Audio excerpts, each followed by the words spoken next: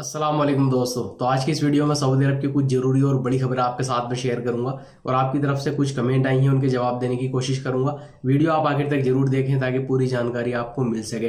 तो सबसे पहले एक यहाँ पर बहुत ही ज़रूरी खबर आई है, वो है हरूब के बारे में, क्योंकि एक बंदे ने जवाजात से सवाल किया था कि हम जो है खरूज वदा पे, यानी छुट्टी पे अपने मुल्क में गए थे, लेकिन कोरोना वायरस की वजह से वापस नहीं आ सके। अब सुनने में यह आया है कि कंपनी या जो कफील है हो सकता है कि हमारे ऊपर वो हरूब लगा दे। अगर वो हरूब लगा देगा तो हमारा जो हुकूक, जो बोनस बाकी है यहाँ पर सऊदी अरब के अंदर तो वो हमें किस तरह से मिलेगा? तो यहाँ पर एक बहुत ही अच्छी चीज़ जो है सामने आई है, ये चीज़ मुझे भी पहले नहीं पता था। तो यहाँ पर जो सऊदी अरब के अंदर इमिग्रेशन एंड पासपोर्ट डिपार्टमेंट है, उसके कानून के मुताबिक ऐसे किसी भी गैर मुल्की पे हरूफ फ़ाइल नहीं हो सकता जो सऊदी अरब से बाहर है। या अगर वो सऊदी अरब के अंदर भी मौजूद हो और उसका एकामा एक्सपायर हो। ये चीज़ जो है मुझे पहले नहीं पता था। बस मुझे यही जो है मालूम था पहले, अगर जो है बंदा सऊदी अरब से बाहर है तो उसके ऊपर हरूब नहीं लगेगा। लेकिन अगर वो सऊदी अरब के अंदर भी मौजूद है और उसका एकामा एक्सपायर है तो जो कफील है या कंपनी है, उसके ऊपर हरूब नहीं लगा सकते। लेकिन यहाँ पर एक और चीज़ मैं आपको बताना चाहूँगा। अगर मान लीजिए आप कोरोना की वजह से या वैसे भी अगर छुट्टी गए, फिर आपका जो एग्जिट एंट्री वीज़ा एक्सपायर हो गया या एकामा जो एक्सपायर हो गया, फिर आप किसी वजह से नहीं आ सके और कंपनी ने, कफील ने जो है बढ़ाने से मना कर दिया, जैसा कि अभी बहुत लोगों के साथ हो रहा है तो यहाँ पर अगर वो हरू फ़ाइल नहीं कर सकता, लेकिन आपके कामे को वो खरोज व लमियत की कैटेगरी में डाल सकता है। इसका मतलब है कि वो जो है यहाँ पे रिपोर्ट कर देगा जवाजात में कि मेरा बंदा जो है छुट्टी गया था और वो वापस नहीं आया, जिसकी वजह से आपका इकामा जो है वो कैंसिल हो जाएगा और आपके ऊपर तीन साल वाली पाबंदी लग जाएगी। फिर तीन साल के बाद ही आप सऊदी अरब का सफ़र कर सकते हैं। लेकिन अगर आपका कफील या आपकी कंपनी आपको बुलाना चाहे तीन साल से पहले भी तो वो आपको बुला सकते हैं। अगर सेम स्पॉन्सर सेम कफील आपको दोबारा से वीज़ा भेज दे तो। लेकिन ये होना जो है बहुत ही मुश्किल है। बहुत ही कम लोगों ने जो है इसके बारे में कमेंट की है कि भाई हमारा जो कफील था पुराना दोबारा से मुझे वीज़ा दे रहा है। मैं जा रहा हूँ सऊदी दोबारा से। बहुत ही कम जो है इस तरह की कमेंट आई हैं। ज़्यादातर लोगों ने जो है यही कमेंट की है कि भाई हमारे कफील ने मना कर दिया, हमारे जो कंपनी थी उसने मना कर दिया है और गवर्नमेंट की तरफ़ से भी जो है एक्सटेंड नहीं हुआ है। अब हम फंस गए हैं, हमारा जो हकूक बाकी है, बोनस जो है बाकी है सऊदी अरब के अंदर और अब जो है हमारे ऊपर तीन साल वाली पाबंदी लग गई। लेकिन यहाँ पर एक और चीज़ मैं आपको बताना चाहूँगा, जिन लोगों का जो कफील ने या कंपनी ने मना कर दिया है एक्सटेंड करने से तो उन लोगों का बोनस बाकी है सैलरी बाकी है। अगर वो केस करना चाहें इंडिया से अगर आप हैं तो इंडिया में जो एम्बेसी है, वहाँ पर आप जाके केस कर सकते हैं। और अगर आप पाकिस्तान में हैं तो पाकिस्तान में जो एम्बेसी है, वहाँ पर जाके केस कर सकते हैं। वो आपकी हेल्प करेंगे आपका हकूक दिलवाने के लिए।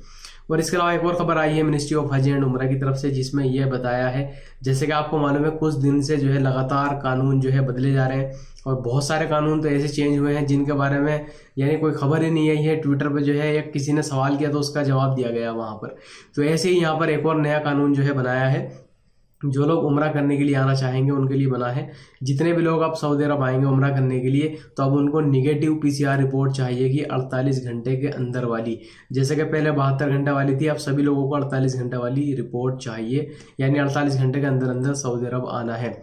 और इसके अलावा एक और अच्छी खबर आई है ministry of environment water and agriculture के जो तर्जुमान है, साले बिन दखील उन्होंने यहाँ पर बताया है, सऊदी अरब के अंदर अब तक 2450 खुश्क कुओं को भरा जा चुका है। जैसे कि आपको मालूम है कि रेयान नाम का लड़का जो कि मोरक्को का था पाँच साल का, वो पाँच दिन तक जो है खुश्क कुएँ में गिर गया था, जिसकी वजह से उसकी मौत भी हो गई है। सऊदी अरब के अंदर भी जो खुश्क कुएँ हैं या जिनको यूज़ नहीं किया जा रहा है, उनको बंद किया जा रहा है या उनको भरा जा रहा है, और यहाँ पर उन्होंने कहा है, जो तर्जुमान है साले बिन दखील, उन्होंने यहाँ पर कहा है, अगर जितने भी गैर मुल्की हैं, सऊदी शहरी अगर आपको कोई भी इस तरह का कुआ दिखाई देता है सऊदी अरब के अंदर तो आप इसके बारे में जो है ज़रूर इन्फॉर्मेशन कर दें। जो सऊदी अरब के अंदर ministry of environment water and agriculture department है, वहाँ पर जाके आपको उसकी रिपोर्ट देनी है ताकि उसको बंद किया जा सके और आने वाले किसी भी बड़े नुकसान से बचा जा सके। तो इसके अलावा आज का रियाल का रेट आप लोगों के साथ में शेयर करना चाहूँगा। तो आज फौरी बैंक इंडिया के लिए एक रियाल के बदले उन्नीस रुपए साठ पैसे दे रहा है। एंजाज बैंक